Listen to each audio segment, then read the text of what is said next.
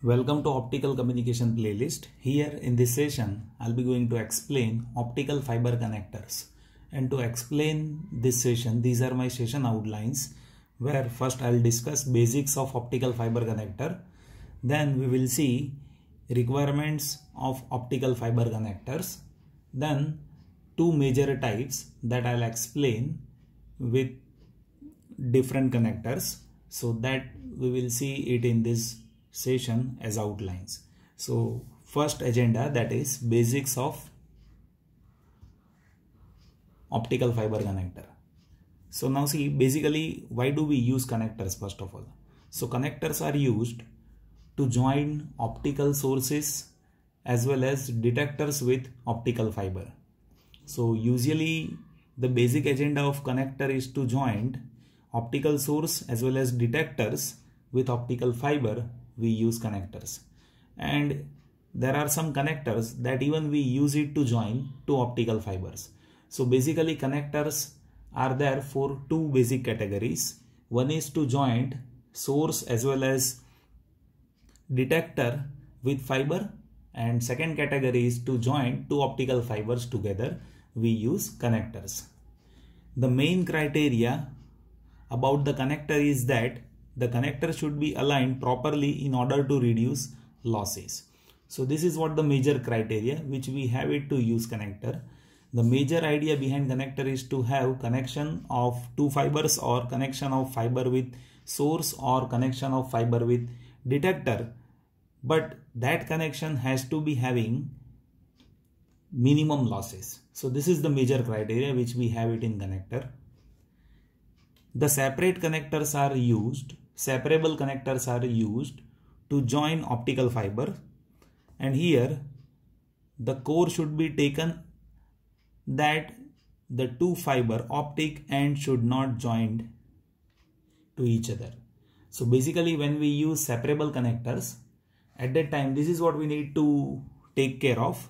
Two optical fiber core that should not get joined to each other in case of separable connectors the reason is when we touch to fiber core, after a long time, some connection is getting established in between two fiber and which may damage to optical cable. So in separable connection connector, we should take care of this point where we should not join two fiber in case of separable connector. And separable connector is having one more agenda that is when vibration is happening at that time, vibration of one optical cable should not transfer to another optical cable. So this these two things that we need to take care when we use separable connectors. One is we should not provide any physical contact of core of one fiber with another fiber. And second criteria is vibrational effect of one fiber that should not get transferred to other fiber. So these are the basics of connector Basically connectors are used to join optical cable with source as well as optical cable with detectors. In some cases connectors are used to join two fibers and main criteria of connector is to provide minimum losses when we join two fiber or we, when we connect fiber with source or when we connect fiber with detector. There are separable connectors which is having two criterias one criteria is that where we should not join core of two fiber and second is in case of separable connector mechanical vibration of one fiber should not get transferred to other fiber. So these are the basics of optical fiber connectors. Now let us discuss the basic requirements of connectors. So see the basic requirement of connector is first is the connector should have low coupling losses. So this is what the basic requirement. So first requirement is connector should have low coupling losses. Second basic requirement is the design of connector should be such that the repeated connection and disconnection is possible without affecting fiber alignment.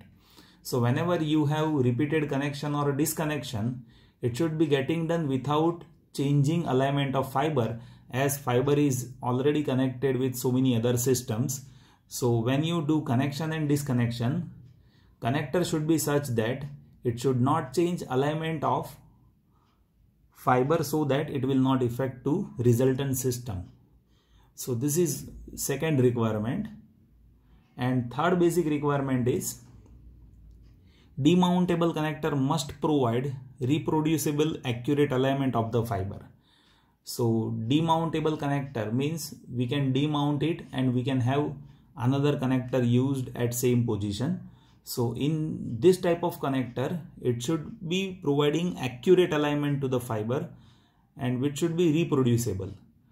So this is the basic requirement which is there with demountable connector. And the basic requirement of connector is it should not get affected by environmental factors it should be easy to have a connection and it should protect fiber ends.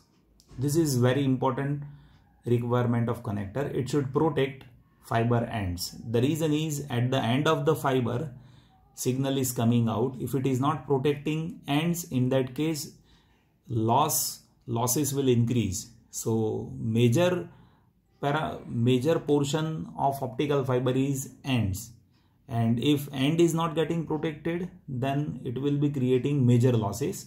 So by using connector we should be protecting ends of optical fiber. And last is the sh it should provide strength to the joint. So basically we are connecting it with source or detector or two fibers are connected. So it should provide strength at joint why we need to have strength? The reason is usually for long distance communication you'll be finding length of optical fiber is very long.